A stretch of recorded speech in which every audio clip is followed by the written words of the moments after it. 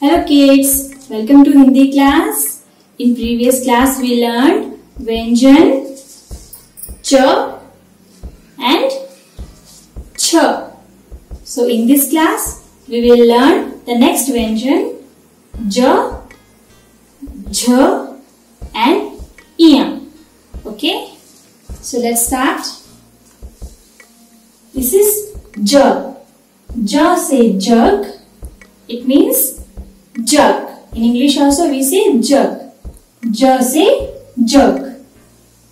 Jh. Jh you have to stress little. Jh. Jh means jharna. Jharna means waterfall. Next is Iam.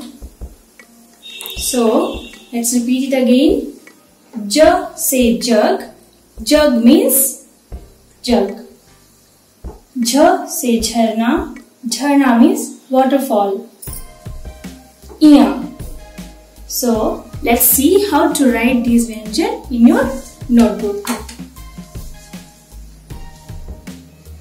First we'll make a curve. A curve, small slipping line and a standing line. J. We'll write it again. Curve, slipping line and a standing line. J. J say jug. J. To write J, small standing line, make S and a tail to it. Small slipping line and a standing line. This is J. Once more, small standing line, S, a tail, small slipping line and a standing line. J.